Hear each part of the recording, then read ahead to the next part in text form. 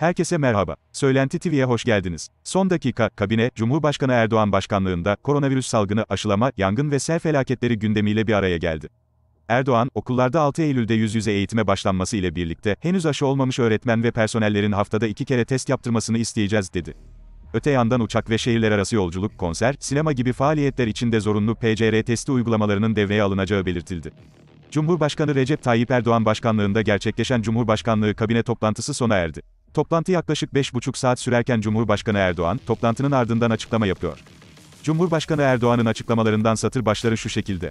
Bir ayı aşkın bir sürenin ardından bugün yaptığımız kabine toplantısında sağlıktan tabi afetlere, ekonomiden eğitime ve dış gelişmelere kadar ülkemizin gündemindeki birçok meseleyi görüştük. Bir süredir maruz kaldığımız kuraklık, yangın ve sel felaketleri nedeniyle üzüntülü günler geçiriyoruz. Manavgat'ta başlayan ve giderek yayılan yangınlara karşı devletimiz ilk andan itibaren tüm imkanlarıyla mücadelesini vermiştir. Böylesine bir felaketi dahi istismar edenlere rağmen bu büyük afetin üstesinden gelmeyi başardık. Ayrıca, Cumhuriyet döneminde yakın coğrafyamızda başı dara düşen milyonlarca kardeşimiz ülkemize sığınarak burada yeni bir hayat sürdürmüştür. Asırlar boyunca Anadolu'nun garipler yurdu olarak anılmasının sebebi işte bu vasfıdır. Bu topraklara gelip de zorla yüz geri edilen kimse yoktur. Yakın coğrafyamızda bir süredir yaşanan istikrarsızlıklar, savaşlar, iç çatışmalar Anadolu'ya yeni bir göç dalgası başlatmıştır. Suriye'de 2011'de başlayan iç savaşın ardından giderek artan sayıda ülkemize sığınan kardeşlerimiz oldu. Türkiye elbette isteyenin istediği gibi elini kolunu sallayarak girip çıkabileceği sahipsiz bir ülke değildir.